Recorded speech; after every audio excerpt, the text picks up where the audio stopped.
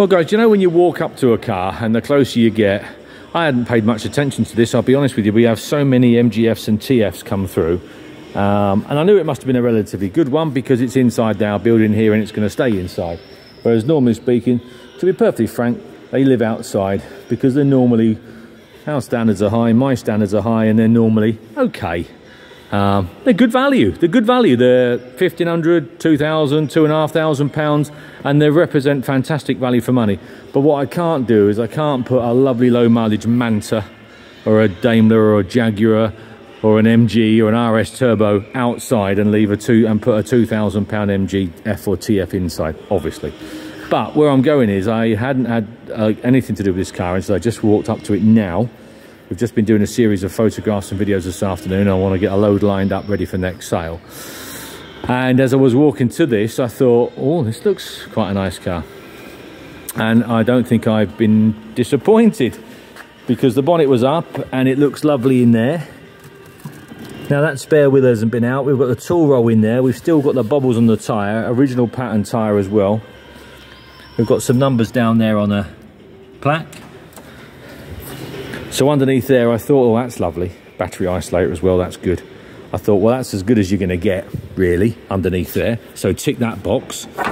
And then I just went round and opened the doors and the boot, uh, ready to do this video.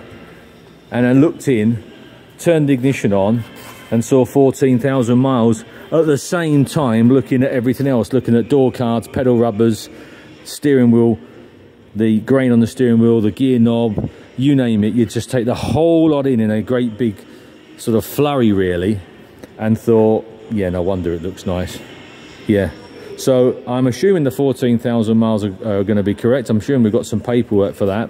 Please do have a word or better still when you come down to have a look because we're probably going to have six, seven, eight of these between now and auction day. Go through all the paperwork. It's certainly got all that feeling of being correct. So I'm sure we have got something down there. Seats are lovely, inside's a lovely place to be. Dash and so forth, door cards.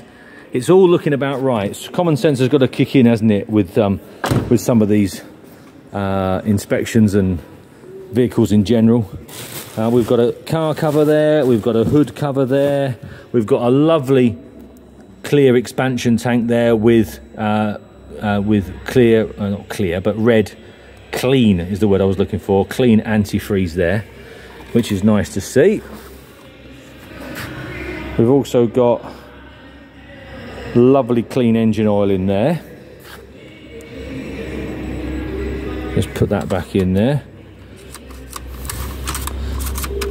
Get it in the right way. There we go. There she is. So, engine, the front area as good as you're going to get. Back area from what you can see, obviously most of the work you do underneath from these. Inside's lovely and hard top. So we're on a winner here, surely, aren't we?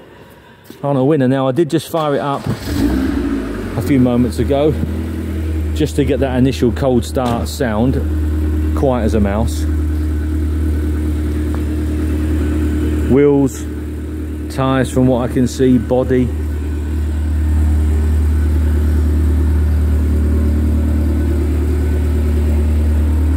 Ah, It's a sunstorm. Aha, there you go. Better still, it's getting better and better, isn't it? Yeah. I'll be buying this in a minute, the more I spend around it. But there you go.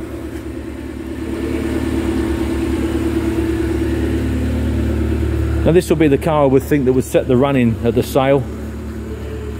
Because in the world of MGFs and TFs, it's up there. And they are a different so get your head around the fact guys they are a different price band to the average car. Miles apart miles apart.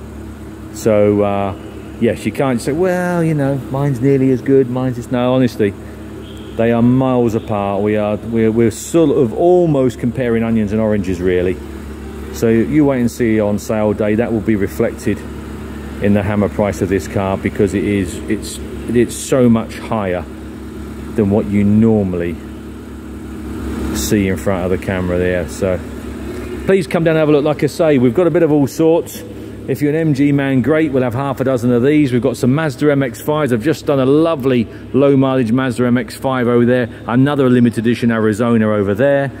They are, they do both marques represent fantastic value for money. In fact, as I said when I was doing the uh, video for the Arizona there, the um, the Bangers um, restoration team have just bought uh, an Arizona to restore, and we done a, and they bought an MGF. Funny enough, there's an MGF out there, about a 51 reg, I think. And I said, what you must do, what you should do, whether they'll take any notice, is do a head-to-head -head on the cars and just work out and just demonstrate really the you know the positives and negatives with both models. I said because they're both in the same in the same choice bracket, aren't they? Um, you know, the MG people love to stay loyal to the MG brand. They probably had all sorts of MGs over the years, probably finishing off with an MGB. They now like the idea of central locking, power steering. The girls love to get involved to drive them and drive them, and, and, and these drive themselves. So, and and the MG uh, club in general is a fantastic warming club. So, not saying the Mazda's not, but MG has just that little bit of something, I suppose, doesn't it? So, anyhow, I'll stop waffling. You come down and have a look, make your own mind up, go through the paperwork that we've got in the office. I think you'll agree, it's a nice car.